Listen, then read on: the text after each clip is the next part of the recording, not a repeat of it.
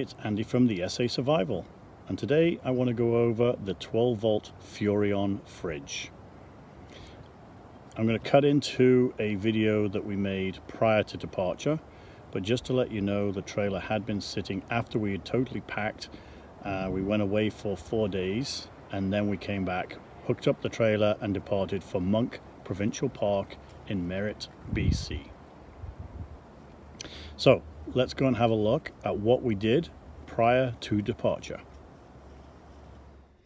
So I just want to go over the packing of our fridge for our five day trip coming up. You can see that the fridge is getting pretty full. We are close to being finished right now, so there's not much more going in. And on the freezer side, you can still see how much we've got, but we're not taking much in the way of frozen food. Now, down here we do have frozen meats, frozen breakfasts, ice, prawns, just a few extra things in the door, but that is it. This is pretty much ready to go for our five day trip. And the fridge has been on for two weeks now. Now, two weeks just left it on to put a few small items in there because we didn't have room in the house. But with what we're doing now, we started to pack it ready for our trip. The last four days, there's been food coming into the fridge freezer, and we have been staying at 100% with the minimum sun that we've had. It's been pretty wet here in Vancouver. Now, we are fully stocked as of last night. I will show you the pictures from the Victron Smart Shunt that I've captured from 8 a.m. in the morning to 10 a.m. to 11 a.m. etc. showing that we were at 96% in the morning first thing going up to 99% up to 100%. So we were fully charged when I first checked at 8 8:30 by 10:30 we were back to full charge. So I'm really, really happy with the battery system that we've got on board of this 260RD and with the solar system that we've put in here. Welcome back. I hope you enjoyed how we'd set up the fridge uh, prior to departure and allowing the solar to do its thing uh, prior to leaving and then it would have been fully charged after we uh, had departed on our small vacation, coming back to hook up. Now, let's get on with arriving here at Monck Provincial Park. We have been here for five days and the weather has been on and off. Uh, pretty much, I would say, you know, 80% sunny, cloudy. Uh, we've only had a few sprinkles of rain, not much at all, but a lot of wind. Uh, it is pretty amazing here. We've never been to this provincial park before. Now, just to give you an idea, you may be hearing some wind in the background of the microphone here. I apologize for that. But let's give you a bit of a, a look at what we are seeing from the campsite.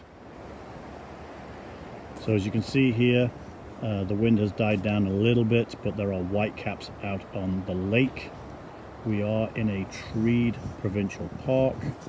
So if we have a look at this, trees close by. I apologize for the blinding of the sun. But as we get towards reflection, we have got quite a bit of clearing. Now this is site number two for us because we actually only booked a couple of nights and we then added to our stay. The first site had a little bit more sun because we were more parallel to the lake as we're pointing now at the lake. But let's get into the fridge.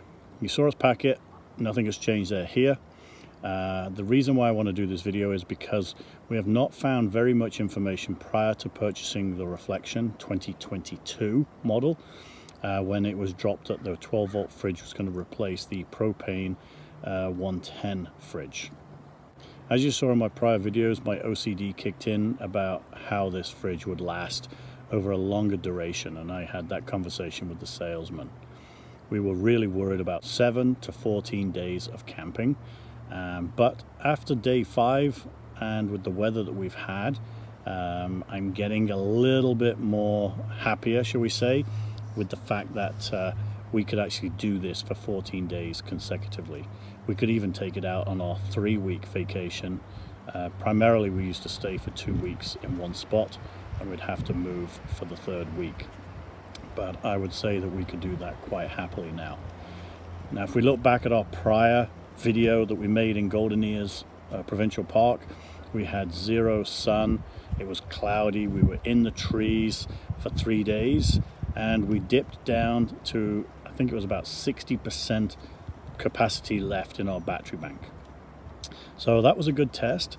Now we've been here for five days with on and off sun. As the sun moves around, we get in some of the trees interfere with the solar panel. But as we will see in the Victron screenshots, that's the lowest we've actually dipped down to, uh, and that was this morning, and I didn't get a screenshot of that, we dropped down to 90% uh, left. So prior to that, we were averaging 93 to 95%, and that is an overnight run. What does that mean? Well, we would use our lights, we'd use the water pump, we'd have a shower in the morning, so we're using the hot water on demand and the water pump together.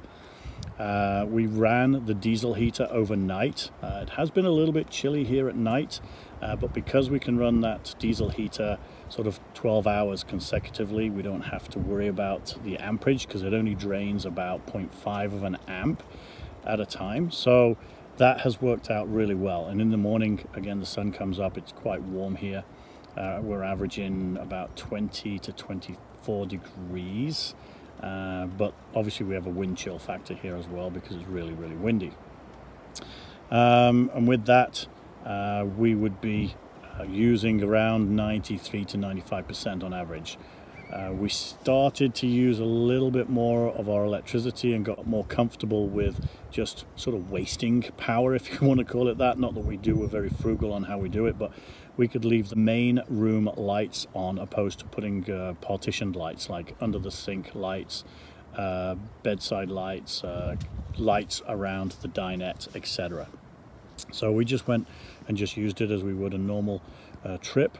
Uh, because of the, the, extra batteries that we've added to this we've got a little bit more luxury when it comes to that so how's the fridge done the fridge which is a 16 cubic inch fridge it's the largest fridge that uh, Furrion puts in the 150 series according to what I've seen as of uh, May 2022's uh, website uh, everybody else gets in the 150 series a 10 cubic inch so this is a pretty big fridge as you've seen uh, we do not fill it. Uh, we, well, we could, but we've not been able to with the amount of days that we've gone away.